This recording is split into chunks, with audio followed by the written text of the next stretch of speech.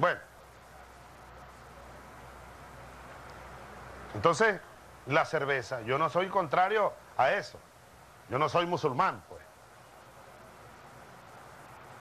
Pero ¿para qué cerveza? Pregúntense ustedes, ¿para qué? ¿Para qué caña? ¿Para qué? ¿Para qué? ¿Ah? El que esté despechado, el que esté despechado, bueno, un clavo saca otro clavo, compadre. Clavo saca otro clavo. No, que estoy despechado. Hay gente que toma eso como excusa y se la pasan es despechado. Estoy en guayabao. No, ellos después inventaron el doble guayabo. A ese es peor. Doble guayabo. Imagínate tú, guayabo negro, ese es otro que llamaba. Ahora, está bien, que vendan ahí sus cosas, eso no, no lo vamos a prohibir. No. Yo lo dejo a la conciencia de todo, pero, pero en verdad que el pueblo venezolano es uno de los pueblos que más consume caña per cápita. En el mundo, eso tiene que darnos vergüenza, ¿vale? Vamos a, vamos a, vamos a, vamos a ir sustituyendo eso. Porque es una adicción, es una, una especie, es una droga. Solo que es legal. Usted, una cerveza es una droga, solo que la legalizaron. Un ron es una droga, legalizado.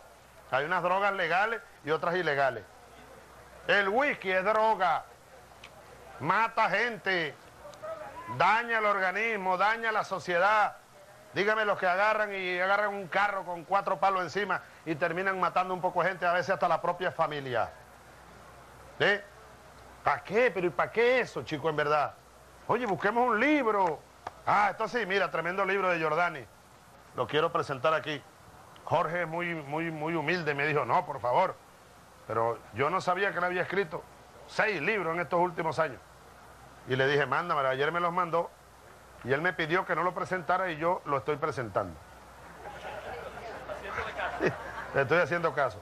Jorge Giordani, la transición venezolana al socialismo, además, desde la mirada de, adentro, alguien que ha estado por dentro de esto, lo cual le da un valor agregado eh, importantísimo, incalculable a este libro que yo no conocía hasta ayer, que me enteré. Eh, Jorge Giordani, el ministro, nuestro vicepresidente del Consejo de Ministros para lo Económico Financiero. ¿Mm? No he comenzado, pero aquí lo tengo. Vamos a leer, vamos a cantar con una guitarra, con un cuatro, vamos a, vamos a hacer cultos, culta, hacer deporte, vamos a divertirnos.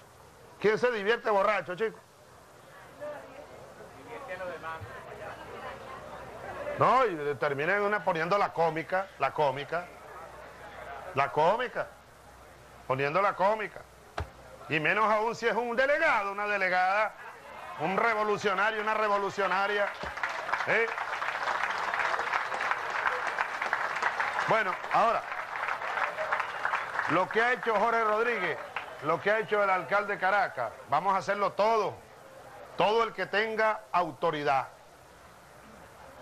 alcalde, aquí hay alcalde, ¿verdad? Alcaldesa.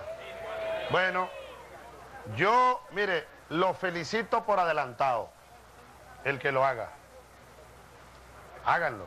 Detengan esos camiones que andan full de cerveza por ahí vendiendo cerveza en las calles. Eso no es una violación a las leyes.